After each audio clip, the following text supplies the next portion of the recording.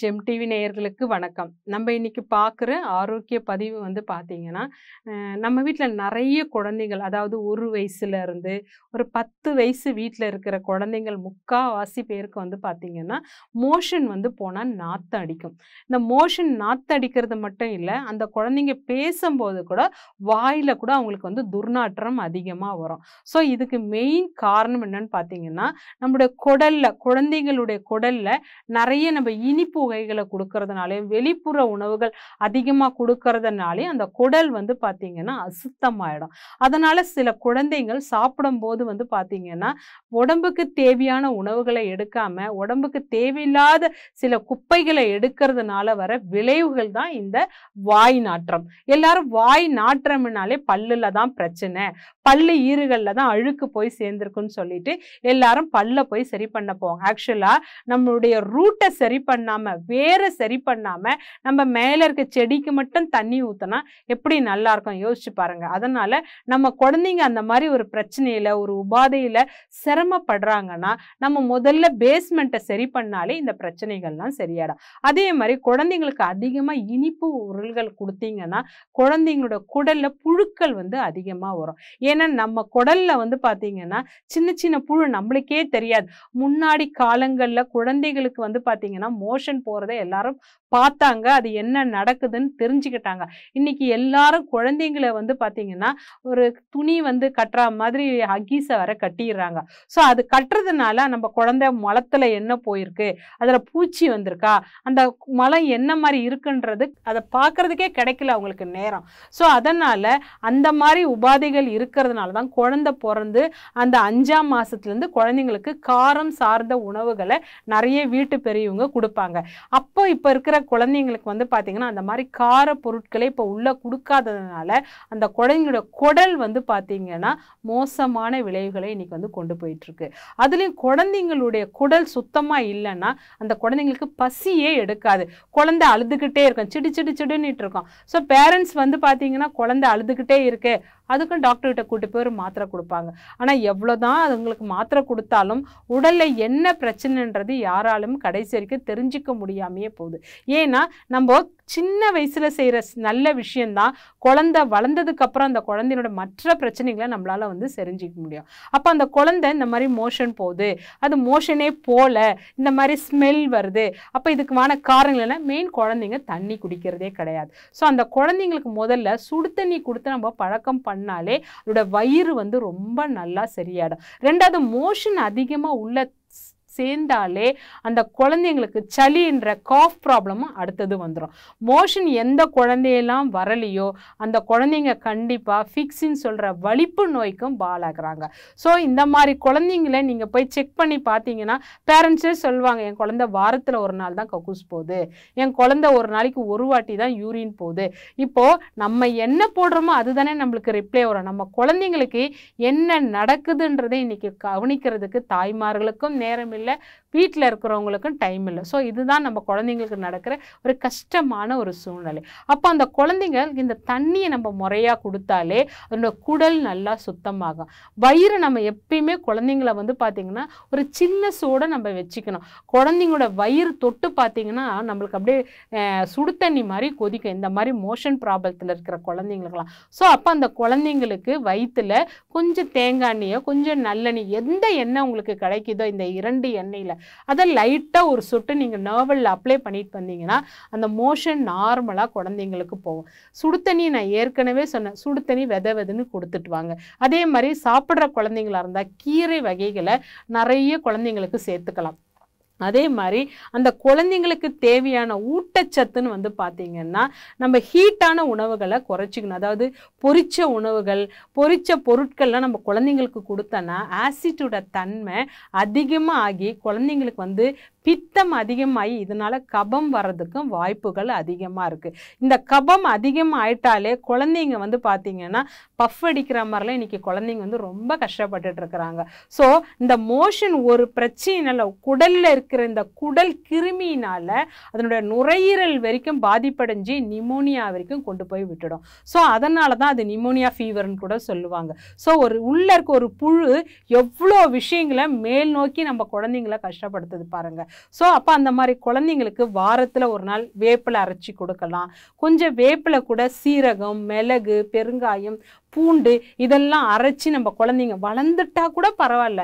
நம்ம குழந்தைங்களுக்கு சனிக்கிழமைனா நம்ம எண்ணெய் தேய்ச்சி கண்டிப்பாக தலைக்கு ஊற்றுவோம் அந்த ஊத்துற காலங்களில் இந்த மருந்தை சிட்டா மருந்துன்னு சொல்லுவாங்க. இந்த சிட்டா மருந்தே பல நோய்களை வந்து குழந்தைங்கள வந்து காப்பாற்றுமா நம்ம குழந்தைங்களுக்கு ஏதோ ஒரு மசாலா உணவு காரத்தை கொடுக்கறதுக்கு பதிலாக இந்த மாதிரி நம்ம அஞ்சருப்பட்டியில் இருக்கிற காரம் இருக்கிற ஆல்கலைன் இருக்கிற பொருட்களை நம்ம குழந்தைங்களுக்கு கொடுத்தா எவ்வளோ ஆரோக்கியமாக வாழ்வாங்க சொல்லுங்கள் ஸோ வாரத்தில் ஒரு நாள் இந்த பொருட்களெல்லாம் பொருட்கள் எல்லாம் நீங்கள் லேசாக நல்லெண்ணெயில் வதக்கி நீங்கள் மிக்சியில் அரைச்சி கூட அந்த சாறு எடுத்து கூட நம்ம ஒரு சிறப்பை ஸ்பூனில் போட்டு கொடுக்குறோம். பாரம்பரியமாக சித்தர்கள் கொடுத்த இந்த மிளகு சீரகம் பூண்டு பெருங்காயம் வேப்பிலை இதெல்லாம் எவ்வளோ ஒரு அற்புதமான ஒரு விஷயம். யோசிச்சு பாருங்கள் இதை நீங்கள் நசுக்கி சாறு எடுத்து ஒரு ஸ்பூன் குழந்தைக்கு கொடுத்து ஒரு ஸ்பூன் தண்ணி சுடு தண்ணி கொடுத்தீங்கன்னா ஜீரணம் நல்லா ஆகும். குழந்தைக்கு நல்லா அந்த என்ன சொல்கிறதுன்னா அந்த குடலில் இருக்கிற கழிவுகள் வெளியில் போகும் பூச்சி இருந்த நாடாப்புழுன்னு சொல்லுவாங்க. இந்த நாடாப்புழு உள்ளே இருந்தால் குழந்தைங்களோட குடல் வந்து அரிக்க ஆரம்பிச்சிடும். குழந்தை வெயிட் போட்டுக்கிட்டே இருக்கும் ஆனால் சாப்பிடவே சாப்பிடாது. சோக பிடிச்சா மாதிரியே இருக்கும் மந்தமாக இருக்கும். அப்போ அந்த குழந்தைக்கு உடம்புக்கு காரம்ன்ற ஒரு விஷயம் போனால் மட்டும்தான் உடம்பு வந்து அதுக்கு ஆரோக்கியமாக இருக்கும். ஸோ அந்த காரத்தன்மை சொல்கிற ஆல்கலைன் எதில் இருக்குன்னு பார்த்தீங்கன்னா நம்ம கொடுக்குற அஞ்சரை பெட்டியில் தான் இருக்குது ஸோ நீங்கள் இதெல்லாம் வாரம் வாரம் கொடுத்துட்டு வரலாம். இல்லைம்மா இப்போ பிரச்சனை அதிகமாகிடுச்சு இப்போ உடனே மருந்து வேணும். என்னென்னா ரொம்ப எளிமையான மருந்து சித்தர்கள் அருளிய மருந்து. முருகனுடைய நம்ம வீட்டில் எல்லாரும் முருங்கை சூர்ணம்னு ஒன்று நம்ம எல்லாருமே வீட்டில் வச்சுக்கணும். நான் ஒரு ஒரு பதினமும் உங்களுக்கு மஞ்சள் நம்ம வீட்டில் இருக்கணும்னு சொல்லுவேன். ஸோ மஞ்சளை எப்படி நீங்கள் புட்டவியல் பண்ணி நீங்கள் வீட்டில் வச்சுக்கிறீங்களோ அதே மாதிரி இந்த முருகன் விதை சூரணம் அதாவது முருங்கை மரத்தினுடைய விதையில் பண்ண சூரணம் இதை வந்து குழந்தைங்களுக்கு இரநூத்தம்பது மில்லிகிராம் அளவுக்கு தேனில் நீங்கள் வந்து ஒரு வேளை கொடுத்தீங்கன்னா அந்த சளியும் சரியாகும் குழந்தைங்களுடைய குடலும் வந்து சுத்தமாகும். இது கூடவே வந்து பார்த்திங்கன்னா எனக்கு தேன் பிடிக்கல. அப்போ நீங்கள் பாலில் கலந்து கொடுக்கலாம். ஆனால் அளவு இரநூத்து ஐம்பது மில்லிகிராம் தான். இந்த அளவில் தான் குழந்தைங்களுக்கு நீங்கள் வந்து ஆரம்பித்து கொடுக்கணும். இது கூடவே வந்து பார்த்திங்கன்னா குமாரி எண்ணெய். இந்த குமாரி எண்ணெய் வந்து பார்த்திங்கன்னா அவ்வளோ அற்புதமான ஒரு எண்ணெய். இந்த குமாரி எண்ணெயை ஐந்து எம்எல் இரவு நேரங்களில் உணவுக்கு பின் ஐந்து எம்எல் நீங்கள் கொடுக்கலாம். எந்த பொருள் கொடுத்தாலும் அதன் கூடவே வந்து பார்த்தீங்கன்னா சுடு தண்ணி கம்பல்சரி நீங்கள் கொடுத்தீங்கன்னா அந்த குடலை போய் அது மெத மெத மெதனாக்கி ஒரு வாழைப்பழம் மாதிரி அது வெளியில் வந்து தள்ளிவிடும். ஸோ அதனால் குமாரி எண்ணெய் கொடுக்கலாம் முருகன் விதை சூரணம் கொடுக்கலாம்.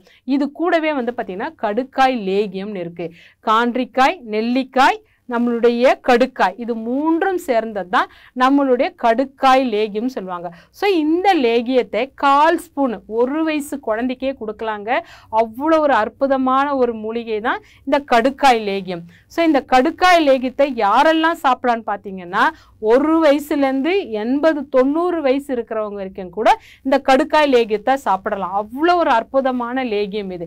இந்த லேகியத்தை வந்து பார்த்தீங்கன்னா ஒரு ஐம்பது வயசு ஆனவங்களுக்கு மோஷன் போக ரொம்ப கஷ்டப்படுவாங்க. ஸோ அவங்க கூட ஒரு ஸ்பூன் காலையில் ஒரு ஸ்பூன் இரவு படுக்கும்போது ஒரு ஸ்பூன் எடுத்து இரநூறு எம்எல் சுடு தண்ணி எடுத்து குடிச்சிட்டு அவங்க படுத்தாங்கன்னா காலையில் மலம் அவங்களுக்கு ரொம்ப எளிமையாக போகும். இதே குழந்தைங்களா இருந்ததுங்கன்னா நீங்கள் ஒரு கால் ஸ்பூன் எடுத்துக்கலாம் இந்த கடுக்காய் லேகித்தை. கால் ஸ்பூன் முடிஞ்ச அளவுக்கு இரவு உணவுக்கு பின் கால் ஸ்பூன் கொடுங்க. இது கூடவே சுடு தண்ணி கொடுங்க.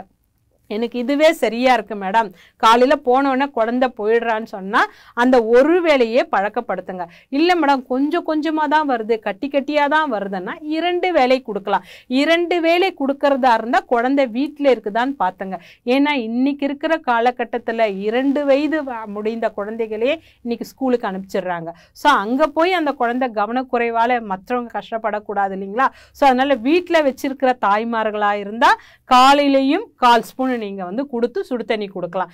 இல்லை குழந்தைய நாங்கள் ஸ்கூலுக்கு அனுப்புகிறோன்னா இரவு நேரங்கள் மட்டுமே கொடுக்குற பழக்கத்தை நீங்கள் வச்சுங்க. எவ்வளோ நாளைக்கு கொடுக்கலாம்?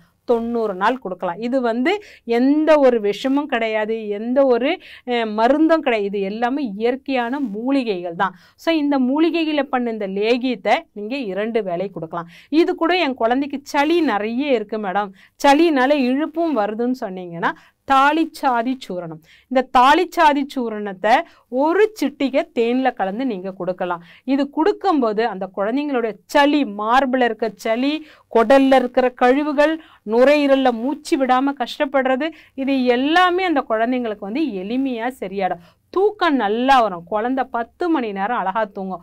மூளை நல்லா சுரு சுறுப்பாக இருக்கும். குழந்தை ஆக்டிவாக இருக்கும். எந்த ஒரு பார்வைத்திறன் கூட குறைபாடு இல்லாமல் இன்றைக்கி ஃபோன்லேயே இருக்கிற பசங்களுக்கு கூட இந்த மாதிரி மூலிகை பொருட்களை எடுக்கும்போது குடல் சுத்தமானாலே மூளை நல்லா சுறுசுறுப்பு அடைஞ்சு உடைய பார்வைத்திறன் ஆரோக்கியம் தூக்கமின்மை எல்லா பிரச்சனையுமே வந்து பார்த்திங்கன்னா இந்த மூலிகைகள் வந்து அவங்க உடம்புக்கு சக்தியை கொடுக்கும். ஸோ இதெல்லாம் கொடுக்கும்போது கூடுமான வரைக்கும் தண்ணி மிக மிக மிக அவசியம். மருந்து எடுத்துக்கிட்டு நீங்கள் தண்ணியை கொடுக்காம விட்டுட்டீங்கன்னா மருந்து உள்ளே போய் வேலையே செய்யாது. அதனால் தயவு செஞ்சு குழந்தைங்களுக்கு எந்த மருந்து கொடுத்தாலும் தண்ணியோடு சேர்ந்து நீங்கள் வித விதன்னு கொடுத்தீங்கன்னா மருந்து உள்ளே போய் நல்லா வேலை செய்யும். நோயின் தீவிரமும் குறையும். குழந்தையும் ஆரோக்கியமாக இருக்கும் நம்ம குழந்தைக்கு வயிற்றுல போய் ஒரு விரலையோ ஒரு உள்ளே இருக்கிற அந்த குடலையோ கட் பண்ண வேண்டிய அவசியம் கிடையாது. ஸோ மீண்டும் அடுத்த ஆரோக்கிய குறிப்பில் சந்திக்கலாம். நன்றி வணக்கம்.